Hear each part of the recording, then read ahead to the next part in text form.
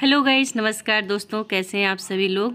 दोस्तों, आज मैं बात करने जा रही हूँ सूखी हुई तुलसी के बारे में। अक्सर सर्दियों के बाद हमारी तुलसी इस तरह से सूख जाती हैं और हम उनकी केयर करना बंद कर देते हैं। जब हम उनकी केयर करना बंद कर देते हैं तो पूरी तरह से हमारी तुलसी का पौधा जो है, वो ख़राब हो जाता है। तो आज मैं आपको बताऊँगी कि आपको कौन से ऐसे फर्टिलाइज़र डालने चाहिए और इसकी केयर किस तरह से करनी चाहिए कि आपकी तुलसी पूरी तरह से हरी भरी हो जाए।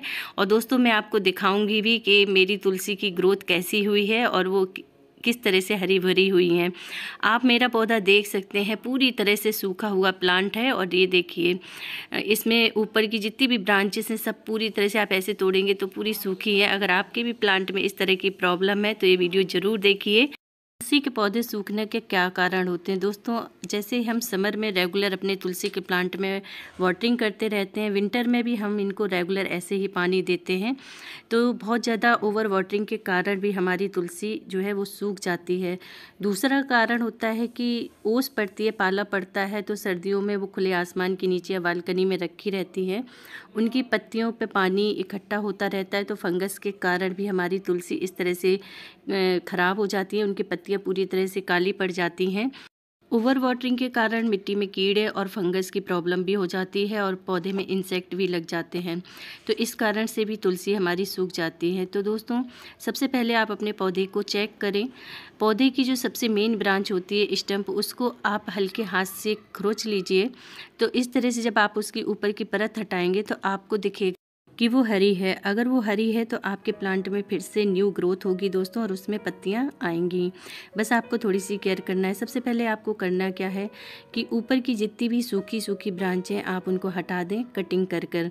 ये दोस्तों, देखिए मैं अपने पौधे की इस तरह से पूरी जो कटिंग है कर रही हूँ। दोस्तों, एक बात का हमेशा ध्यान रखें कि जिस तरह से सर्दियों में पौधे ख़राब हो जाते हैं तेज़ सर्दी के कारण, ऐसे ही गर्मी में भी अगर बहुत ज़्यादा टेम्परेचर है और आपका तुलसी का पौधा रखा है धूप में तो भी ऐसी प्रॉब्लम आती है कि पौधा हमारा सूखने लगता है। तो हमेशा इस बात का ध्यान रखें कि इसको सेमी सेड एरिया में रखें बहुत ज़्यादा, जब तेज़ धूप पड़ रही हो। और अक्सर जब तुलसी का पौधा सूख जाता है तो हम लोग उसको सोचते हैं कि पूरी तरह से ख़राब हो गया, उसको उखाड़ कर कोई दूसरा पौधा लगा देते हैं। सबसे पहले आप अपने पौधे की जो मेन ब्रांच है, उसको चेक कर लीजिए। हो सकता है आपका प्लांट फिर से हरा भरा हो जाए थोड़ी सी केयर करने के बाद। अब मैं तुलसी के पौधे की पत्तियाँ इनको हटा रही हूँ, ये मैं कंपोस्ट में डाल दूँगी। दोस्तों, वैसे तो आप इसे में मिक्स कर सकते हैं ये पत्तियाँ और ये अगर मिट्टी में मिक्स हो जाती हैं तो ये भी कंपोस्ट का ही काम करती है। लेकिन इस समय पे हमारा जो पौधा है, पूरी तरह सूखा हुआ है तो सही यही रहेगा कि मैं पत्तियों को पहले हटा दूँ और इनको हटाने के बाद हमें मिट्टी की गुड़ाई करनी है दोस्तों। तो अच्छी तरह से कर लेते हैं मिट्टी की गुड़ाई। और गुड़ाई करने के बाद मैं सबसे पहले इसमें अप्लाई करने वाली हूँ हल्दी। हल्दी एक कीटनाशक है दोस्तों और इसके तीन बहुत अच्छे फ़ायदे होते हैं। सबसे पहला फ़ायदा तो ये होता है कि ये जो तुलसी में किसी भी प्रकार के कीड़े हों या फिर मिट्टी में फंगस लगी हो तो इसको ख़त्म कर देते हैं। अगर आप दो से तीन बार इसको हर पंद्रह से बीस दिन में अप्लाई करते हैं तो तो इस समय पे देखिए, मैंने तुलसी के पौधे में हल्दी डाल दी है दोस्तों, और मैंने आधी चम्मच के करीब चार से पाँच ग्राम मैंने हल्दी डाली है एक पौधे में, और इसको अच्छी तरह से मिक्स कर लेते हैं और ऐसे ही चौबीस घंटे के लिए इसको धूप में छोड़ देते हैं दोस्तों।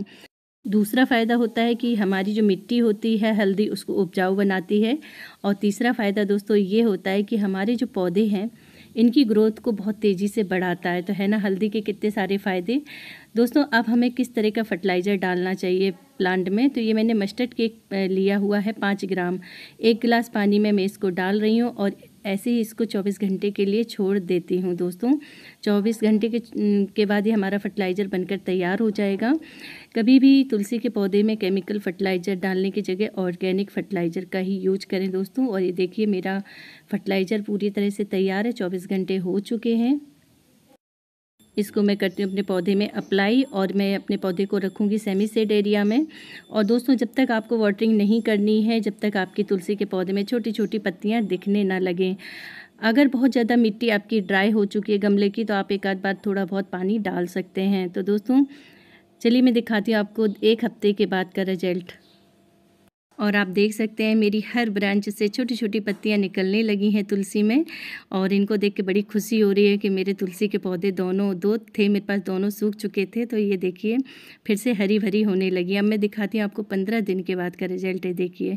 पूरी तरह से मेरी प्लांट फिर से वैसे ही होने लगा है जैसा था और वो हरा भरा हो चुका है पूरी तरह से दोस्तों।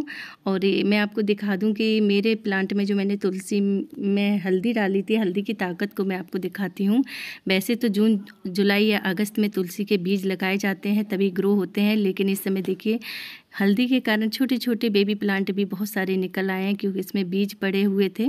तो तुलसी का पौधा तो हरा भरा हुआ ही, साथ में हमें छोटे छोटे पौधे भी मिल गए। तो दोस्तों, वीडियो कैसा लगा आपको? वीडियो पसंद आया हो तो चैनल को सब्सक्राइब ज़रूर कर लें, लाइक करें दोस्तों और शेयर करें।